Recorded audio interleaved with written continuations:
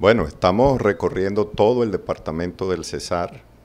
Lo vamos a seguir haciendo, hablando con las personas. Eh, encontramos que en nuestro departamento hay completamente falta de derechos humanos.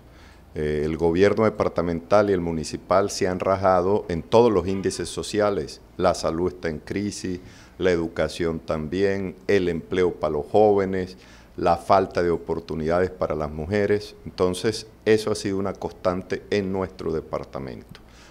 El otro gran tema que nos preocupa es el tema de la corrupción. En cualquier sitio que vamos, desde el norte hasta el sur, del oriente al occidente, la queja permanente de las comunidades de que se han robado los municipios, se han robado la salud, se han robado la vivienda y lo más grave es que nos quieren robar la esperanza.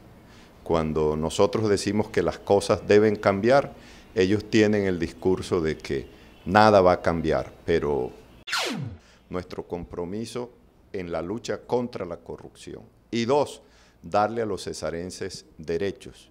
Nosotros sí creemos que en materia de educación, por ejemplo, podemos aumentar la cobertura educativa y podemos también aumentar la calidad de la educación en el departamento del Cesar. Hay cosas que conspiran contra eso, por ejemplo, el robo que han hecho del PAE, de los recursos de la comida de los jóvenes.